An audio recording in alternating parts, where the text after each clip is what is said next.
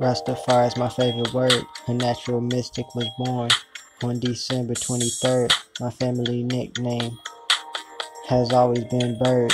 Heartbeat of a Nyabinghi drum. They know I'm a genius, so that's why they treat me dumb. Rapper and a chef.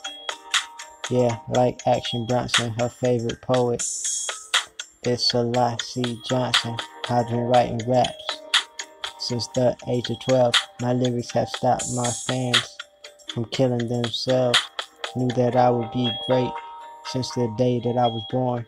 Just like water, my dreads are free form. Selassie Johnson is always humble and wise.